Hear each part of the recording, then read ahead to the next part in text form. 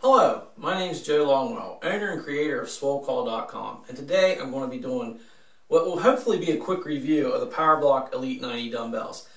I tend to ramble on, so I'm going to try to make this a very short video, and I'll probably add some more uh, information, especially about when you're buying used PowerBlocks, what to look for, and that information is going to be on my blog, SwoleCall.com. It'll be under the equipment review section, and I'll leave a link down in the description below. Um, so let's get started with the review.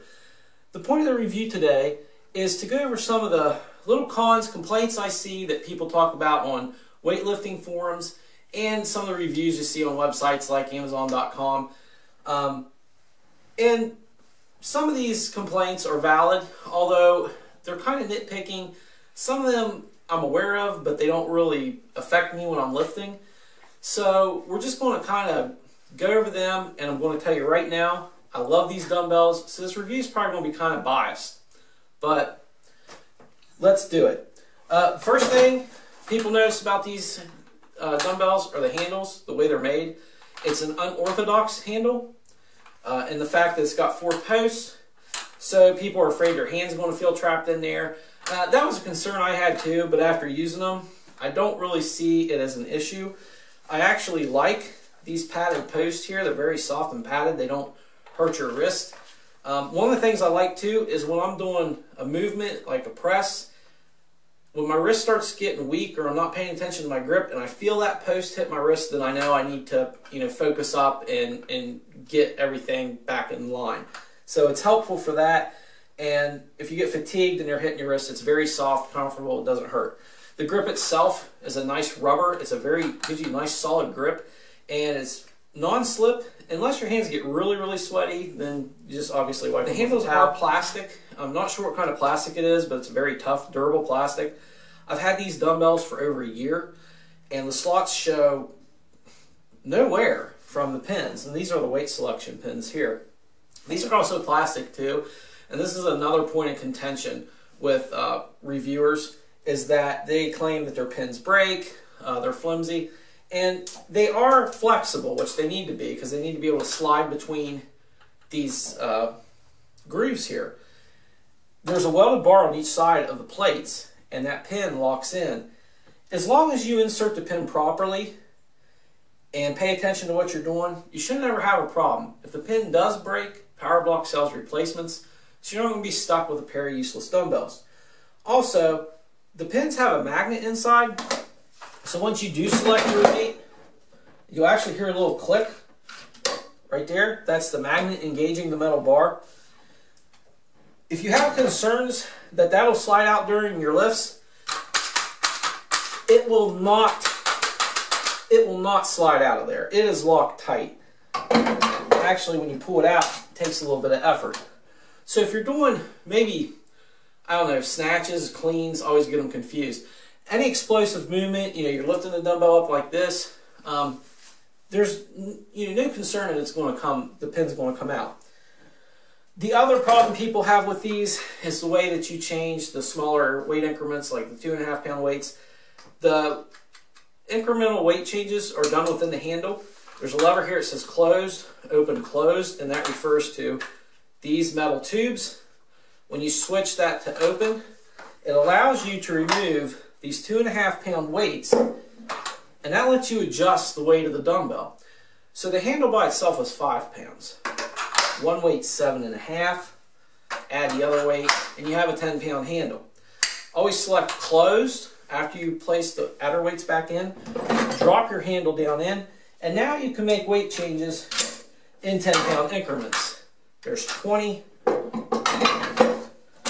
And as you notice, the weights are nested. They're very compact. They take up little space. There's 30 pounds. And you can see that the weight changes are, are pretty fast.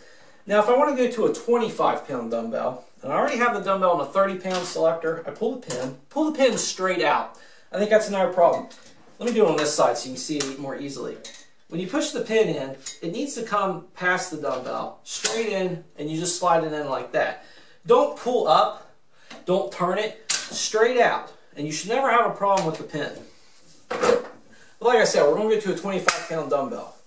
we remove the 5 pounds of adder weights, replace the handle, select the 30 pound color coded weight, and now we have a 25 pound dumbbell. Now we can add an adder weight to this and make it a 27 and a half.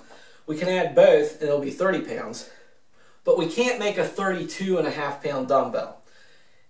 That's probably one of the, another big issue with people is that when you go from 30 to 35, 40 to 45, 50 to 55, um, you can't make a two and a half pound adjustment there. It has to be a five pound jump, which means if you're doing an exercise where you're using the pair of dumbbells, it's going to be a 10 pound jump.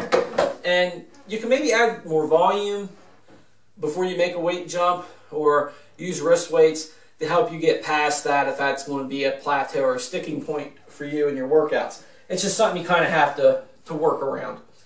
Um, the same could be said for spin locks, except that you could just leave a two and a half pound weight on one end if you don't mind it being a little unbalanced.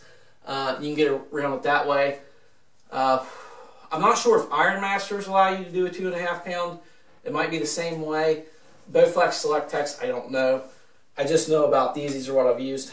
The PowerBlock Classic 50 Plus and Classic 70s, which look very similar to the Elites, almost identical, they allow two and a half pound increments, uh, if I remember correctly, because I did own those for a time before I upgraded to the 90 pounds. And that's going to bring me to one of my complaints, is that the Elites max out at 90 pounds per hand. Now, that might be enough for some people, but if you're used to lifting heavier dumbbells or your goals are to lift heavier, then this is something to think about. These might not be for you if you feel 90 pounds is going to limit you. When I purchased these, originally PowerBlock offered a 130 pound add-on kit. Uh, right after I purchased these, they discontinued it and I was not able to find a kit anywhere. So that's kind of my complaint right there. Um, and it's more with PowerBlock's decision to discontinue the 130 pound add-on kit. Um, why they didn't offer enough to cover, you know, at least half of the dumbbells that they sold. Uh, maybe they did, but I think it's a little short-sighted, and it kind of left a little bit of a bitter taste in my mouth. I still love the dumbbells, and if I had the money, I'd probably upgrade to the urethanes. Uh, PowerBlock makes a urethane line, which allows you to upgrade to 125 pounds per hand, I believe, or their commercial line allows you to upgrade to 175 pounds per hand. Uh, conversely, Ironmaster start at 75. You can upgrade them to 120, or maybe it's 125 pounds per hand, and all the way up to 165 pounds per hand. So that's something to think about if you want to go over the 90 pound mark. Um, obviously, you could get these and add hex dumbbells, uh, or get larger uh, handles like a 16 or an 18 inch, and you could definitely go heavier than the 80 pounds that you're limited to on the 14 inch handle if you use 10 pound pancake plates. So I'm getting off track here a little bit. Back to the dumbbells themselves. Um, one thing I like too, they're flat on the ends, so setting up for bench press, you don't have a plate digging into your leg. They're comfortable to rest on your leg. They're also flat on the bottoms, so you set them on the floor, they're not going to roll. Um, I've even seen people use these for push-up handles. So there's a possibility there. They take up very little space. As you can see, I have 180 pounds of weight right here. So these on a bench would take you a long way in your fitness goals and would take up very little room. And actually, when compared to buying machines or if you don't have room for a rack, barbell, and all the weights that go with that, um, these are cheap in comparison. So especially if you can buy them used. Um, so it's a great way to go. That's basically it about these dumbbells. I mean, I, I don't think I'm saying anything that hasn't been said in the reviews. If you go to Amazon.com, there are 600 plus reviews. The bulk of them are positive. Um, take a chance on them. I bought the classics and I resold them. They held their resale value very well. So if you don't like them, your loss will probably be very little. Uh, you might even be able to get pretty close to what you paid for out of them.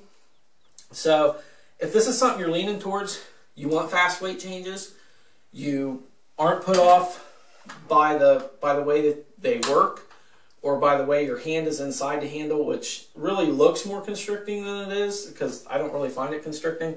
Unless you have maybe like 9, 10 inch wrists, um, because there is three inches of space here, so there's plenty of room. I've probably forgotten some some things I wanted to touch on, but for the sake of brevity, I'm going to wrap this review up. Uh, I'm going to have more information posted on my blog. Again, that's swolecall.com, S-W-O-L-E, C-A-L-L.com, and it'll be under the equipment reviews section. So thanks for watching this review. I hope it helped you out and give you some things to think about, and have a great day.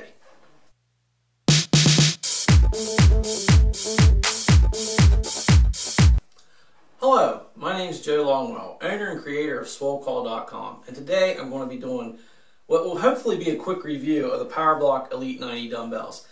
I tend to ramble on, so I'm going to try to make this a very short video, and I'll probably add some more uh, information, especially about when you're buying used PowerBlocks, what to look for, and that information is going to be on my blog, swolecall.com. It'll be under the equipment review section, and I'll leave a link down in the description below. Um, so let's get started with the review. The point of the review today is to go over some of the little cons, complaints I see that people talk about on weightlifting forums and some of the reviews you see on websites like Amazon.com. Um, and some of these complaints are valid, although they're kind of nitpicking. Some of them I'm aware of, but they don't really affect me when I'm lifting. So